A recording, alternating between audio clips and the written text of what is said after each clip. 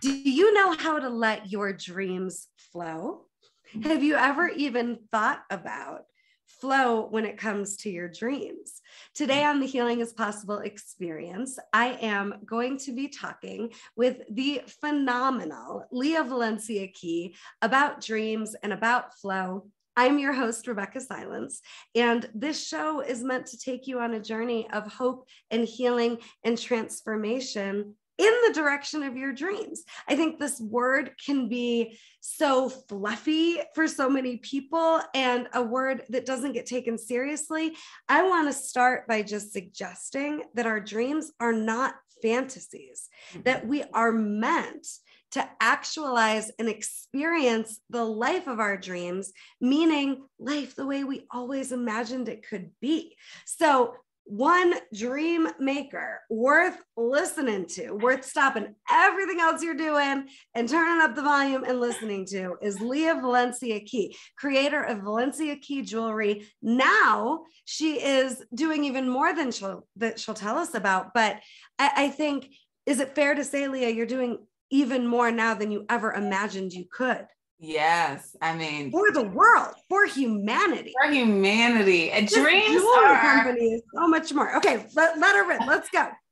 I love dreams. I, you know, that's my word. I, have, so, I have words that I just overuse and cling to, and uh, it's an honor to be called a dream maker because you really can. I love the word dreams, and the reason why I don't use the word goals um or a goal is there's works for however you want to manifest in your mind because your mind is the one that's going to help you to actually flow into what's possible for you. I love dreams because dreams are these things so far out like and they're they're so surreal to me when you think about it. And then it's like how do i get into a flow enough to flow my way to something so unfathomable, so um, almost unrealistic if you told someone. And so I love flow because flow is like it moves you to something. And I think actions make dreams come true. When you're flowing into something, that means you are making actions that move you closer to the surreal concept that was blessed to be whispered in your heart, your soul, or your mind. And I just do it every time. Like I put, I, I think about what I want to give to the world. My my way of being now is like, what do I want to give to the world? And that becomes my dream. And then when I find out, oh, this is unique and it sounds very interesting, but I really want to gift this to the world. And then now I have to click into what is that flow of action that's going to get me to gift this to the world. And that moves me into these millimeter movements of steps that I, I coined the phrase millimeter movements because they're the smallest movement, smallest measurement on a metric ruler. But the smallest movement will allow you to start flowing yeah. And I love that you're saying it that way because I think people, you know, have just as averse a reaction to the word action sometimes as they do the word dream. And yeah. one of the things that I've learned from one of my friends and mentors, Eric Plattenberg, is that action's only about 10%. Mm of the manifestation. And I have definitely been guilty of if I feel like things aren't flowing, work harder, more action, harder, more action, harder, more action, push. And in my experience, that suffocates the flow actually. Ooh. Right. So it has to be the right actions mm. and it mm. has to be the actions that almost like, at least for me, feel effortless. Like there's a ton of effort, but if it feels effortless, it ain't no thing. Like yeah. I'll do the effortless effort until the cows come home. So, yeah. like for me, I know I'm beginning to stifle a dream if it doesn't feel effortless. And it's time to like press pause and relax. And I love that you're talking about dreams being for the world because I feel I feel the same way. And we were talking, I was crying before we started recording just about the idea that, you know, it, it's almost like the the dream is bigger than us. Your dream Yes. with your jewelry company Yes. that's now helping communities get out of poverty and have a whole new experience in Africa. I mean, Lia, it's it's breathtakingly beautiful what you're doing in the world and I'll let you talk more about that in a minute. But, you know, for me, it's about teaching the practice of emotional healing and helping families and marriages and people and even teams and companies heal through trauma that Yeah. has them working so hard and feeling so miserable for no reason Yeah. but it it almost it feels bigger than me. And part of what helps me flow is to know hard work isn't actually going to get me there. Effortless Mm. flow will. And then i work really hard but it doesn't have to feel hard. And i think i think that's just important for people to consider and take in. Your your dreams don't have to be hard. And what if they don't have to be that far away? And Yeah. what if here's the other thing. What if if if you're thinking well i don't have some world healing life changing for the world dream so what you know i doing even listen to this. Hold on a second because even just your dream of healing yourself makes the world a better place or your dream of living authentically to you that models so much beauty and magnificence for so many right? So don't downplay right whatever your dream is. It's serious and it changes the world. And i don't think it has to be that far away. No. and I think if you can conceptualize it, a lot of people say this, but I really believe it. You can manifest it. You can actualize it. I love even like you were saying when you say, What am I giving to the world? I think everything you do of positiveness is for the world. And and it's not small. So if your dream is to just care for your family in the most beautiful way possible, if it's it, if it's to raise your children in this wonderful way, if you want to change the trajectory of your generation and say, well, I lived and was raised this way. So my dream is to raise my children in a different way and, and steer them in this direction. Just like you said, that is life changing to the world. Because now you are creating another human beings of, of value and of love and intention and so everything of positiveness, even like you said, if it's directed about you, literally is a world blessing. And I love, I, I would love staying there for a minute. Thank you for bringing that up because Yeah. we'll cancel ourselves out of because we, we we create these grandiose statements but anything we do of effort is grand.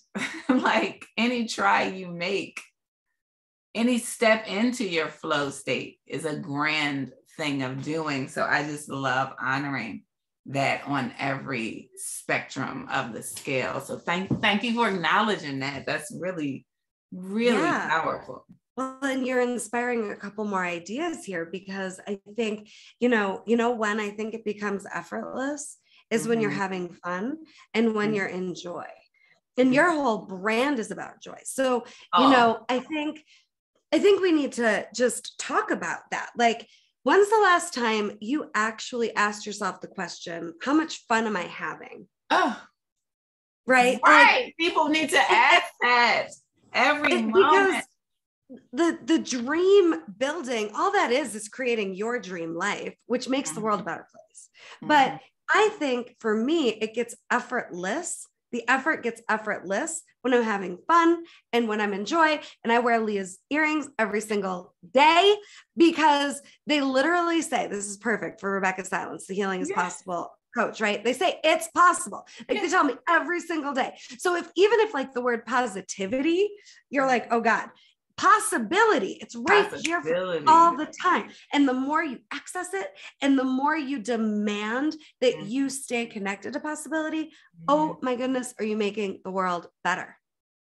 you're making the world better and you're starting to flow into what you're meant to do in this world. And and honestly, if you look at a river, flow is not easy.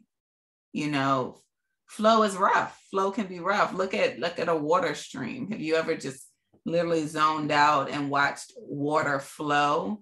It's hitting rocks, it's moving this way, it's passing leaves and carrying things. And it, flow ain't easy, but it's movement. And so I like when I think when I think of flow, I think of movement. I think, and, and it could be, it could be rough movement. It could be hard. It could be rocky waters. It could be turbulent times. It could, it could be still waters. But as long as it's movement, that's when you're moving toward your purpose, your destiny, whatever word you want to call it, your dream, your life intention, all of those words, whatever one holds true to your heart, is where joy lies and I like understanding that because it's like before you leave this earth, my mother passed at a super early age. And I'm going to self diagnose, and I could be wrong. Forgive me, mom. You're not here to speak up for yourself, but I'm going to say she had very few in her adulthood joy moments mm. because um, she was responding to life or, or paralyzed by the bounds of what life had systemically put around her. And there was no ability to flow into her purpose and her destiny. Now she was able to speak life into my life, which was power. Um, and that that was, if we look at that, her way of flowing. You know, maybe she wasn't able to live out these things, but even if you speak life, into others' life. That's a way of flowing into others' lives. Um, but I just like visually closing my eyes and thinking of flow as this very ever changing thing, but as long as it's movement, yeah. you know. Well, in the opposite, I think of flow, let's just call it resistance. And back to your river metaphor, like mm. even if there's choppy waters or mm-hmm. weather or the water smashing up against a rock, there's mm-hmm. no resistance. So yeah. how do we actually even know it's hard or yeah. tough? The water's just rolling. Right. Yeah. It, yeah. Think, it hits it and it moves. Exactly. It's just, it's not mm, demanding anything needing to be different. And it's not right. It's not fighting it. So, like, mm-hmm. for me, joy makes flow happen. You're mm-hmm. talking about breathing life, more possibility into mm-hmm. ourselves and other people, and surrounding ourselves with people that breathe life into us and possibility mm-hmm. into us brings flow. But this this river metaphor, I just think is really profound, right? Because what if the water isn't experiencing hard? The water is just mm-hmm. flowing mm-hmm. in the face of anything. Mm-hmm. And we have the capacity to do that too. And at least for me, if, if you're in the pursuit of flow, maybe that in and of itself is your dream. A yeah. life of more flow and joy. Oh my gosh, go make that your new baseline. Love it. let people watch, right? But whatever your dream is, perception is so interesting because there mm. will be metaphorical weather and rocks and obstacles and blind sides and unforeseen circumstances or opportunities to see what you didn't even know you were going to have to deal with on the pursuit of the dream. But if you can just remember to keep moving yeah. and to stay in joy and yeah. to stay, my big word is in commitment, yeah. meaning whatever it takes, as long as it takes. Like I'm, I'm here. It's a, it's a full-time job being in the pursuit of your dream life. This is a good thing. Yeah. Oh, love it. It's so good. I, I, you know, that's my thing. I, I say it more morbid, you know, from a light perspective, heart. I, my way of saying it is the same as what you're saying, but I say either it's going to happen or I'm literally going to die trying. Like it, I, I don't, I don't have a choice. I, I'm, it's, it's just the, it's what I've rooted myself to being. But I really love that concept of this lack of resistance when you're flowing. You're gonna have the turbulence. You're gonna hit up rocks and stuff but that is so beautiful like you said because when you say you you do it in ease someone's gonna say but it's not easy it's not easy. I get it. Life's not easy. My life's not easy. But when you come up against something, just like you said, the water just says, okay, I go around it. like, okay, I, I lift it up. Like it that becomes your flow mindset. Like, oh, this is an obstacle. Okay, I, was mm. I just uh, was working in a homeless shelter today, and I've decided to do 12 courses um, with just hearts in need of, of this. And we were talking about this, and my closing was the same thing that we're talking about. You are going to choose to reach yourself in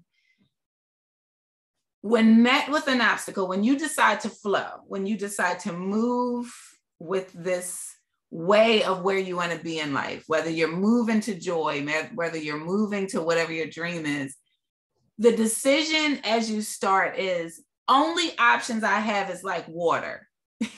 Either I'm going to go around it, over yes. it, under it, through it, but I'm going. and that's true flow. Love that analogy. And it's effortless. And the thing is, life might not feel easy, but it doesn't have to be hard. Yes. Right. I always say it's not easy, but it is the simple. Yeah. Right? And it's the resistance that makes it hard. Mm-hmm. And, you know, when I had cancer, I literally said, I'm going to live like I'm going to live or die trying. Like I'm burning the option. Yeah. Right. That this isn't going to happen or work out. And I love what you're saying about flow mindset. I just want to go back to that because that mm-hmm. is the term I haven't heard before mm-hmm. that I mm-hmm. hope that that people watching you'll yeah. remember yeah. that it is about just being like water. It's, and then the other thing, Lia, you inspired one more idea. You mm-hmm. know, don't think that you need to see it first yeah. to create it. Right? You mm-hmm. brought up your mom yeah you're you're a perfect example of creating an entirely different paradigm for your life yeah. than the one you grew up in yeah right and so i just want us to know that if you're here you're the trailblazer mm-hmm. so don't mm-hmm. think someone else is supposed to pave the path for you and then then you get permission mm-hmm. no you very likely if you're here with us you're the trailblazer. Yeah. And I just don't want people to be afraid of the generational healing that would be required for you to pursue the dream that you have, even if the people you love and care about didn't pursue theirs. Go for yours. Yes, go for yours. And I was thinking when you were saying that, um, in flow mindset, think about we're we're just gonna stick with this water flow vibe, right? we're just gonna stay there because it's good. It's good to me. I see it. When you when when you move and you move like water, water picks up things along the way, right? It's like, how did that rock get from here to here? oh, water moved it, right? It, it, it's magical because that's what flow mindset is. You're picking up things along the way to help you move where you need to go. And that comes from all different experiences. So, like, how do I do the dreams that I want to do, or I really get close to seeing what I envision in my mind? I look externally, even if it's not in front of me and it's not in my direct world, I find inspiration from the world, from other humans. And I just pick up nuggets from the greatness that they have. And I move with those nuggets to help me keep flowing. So it's just wonderful. Like if you're listening to this show, this is a, a piece that you're putting in your in your heart and in your mind to allow you to flow to your next destiny. And I'm honored to be a part of that. It's, it's wonderful. Well, and I love what you're saying. I'm hearing you basically telling people use your environment, use your environment to your advantage in the pursuit of your dreams. Yes. And if it's not in like, your environment, go find an environment. if it's not yeah. in that environment, I am a avid traveler and a life um, chaser of exposure. Yeah. So I am chasing exposure. Like I am chasing the opportunity to be around something different because every time I'm around something different, even this beautiful conversation that we're having has just literally unlocked so much in me just by this conversation. So chase chase those different exposures because it's going to help you and where you actually want to be. It's yeah. Well, and even like finding yourself in an environment that you don't want to be in, mm-hmm. that's the inspiration to do yep. something about that. Yep. To create the environment that would honor and serve and respect who you are now. And I think that's another big piece of flow. And I do think flow is the key ingredient to creating your dreams. But but you've got to honor and respect and love yourself enough and honor and respect and love your dream enough to be whoever it takes. It's more than just like, what do I have to do? What do I have to do? What do I have to do? Who are you going to be? Yo. Right? Who are you going to be? That's number one start. That is literally your, if you're like, I don't know, uh, where do I start? Exactly what you're saying. Like, who am I? Who am I going to be? What am I going to put out in the world? Not anything physical, right here ah, it's so magical when you decide no, and understand what you're putting. And it's out. not, it's not what you were told no. your worth is, right? No. I, I, that's, th- that's like a whole other episode. But I just want us to realize how we decide back to your word decision mm-hmm. to to be with ourselves and to be with our dream and to be with the world in the pursuit of our dreams mm-hmm. that's the game that can get more and more and more effortless that will take you where you want to go. So, I want with our last few minutes, I want you to tell people about the dream that you're building now mm. and how to get in touch with you, please. Yes, thank you for this opportunity. I love sharing dreams because one, I hope it inspires someone else to dream. And when you hear someone else walking and running and flowing toward their dream, you start to say, like, I can walk and walk, run and flow to my dream. So my dream has been um, to, my father was directly from Angola. And so as I was creating my company, I always knew about the poverty and the, the, just the lack that is in Africa and that extremeness that's happening just from what my father would would share with me. He's no longer with me. He's passed and it's just been in my heart like how do i help? How do i bring commerce? How do i just even in a small way bring that too? So i traveled to africa and i found this beautiful craft and this beautiful talent that is of treasure in africa and it's this beadwork. And i cre- i decided like what if i custom design these these hand beautiful bags that have an intention of possibility and have an intentional light. And every time you hold it, it's a physical example of what you can create in the darkest of dark experiences. Like, so we're talking about homes and hearts that are living on dirt roads who may not even have bathrooms in their homes that it, it's not our poverty but they can create these beautiful beadwork and then if we can bring that here and create commerce so that we can continuously flow income into their lives that means babies can eat. Children that may have not had an opportunity to go to school can actually go to school.